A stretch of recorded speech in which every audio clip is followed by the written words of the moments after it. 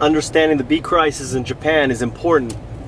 So I have invested in an iPad and um, I'm spending my own money so I can educate you.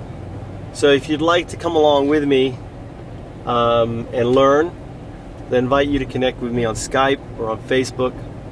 On Facebook, I'm just mtrout.com. So mtrout.com, and you can connect with me there on on Facebook. And ultimately, if you uh, want to connect on Skype, you can do so. It is simply FoundUps. So my goal is this: is to show people specifically what is going on and how we can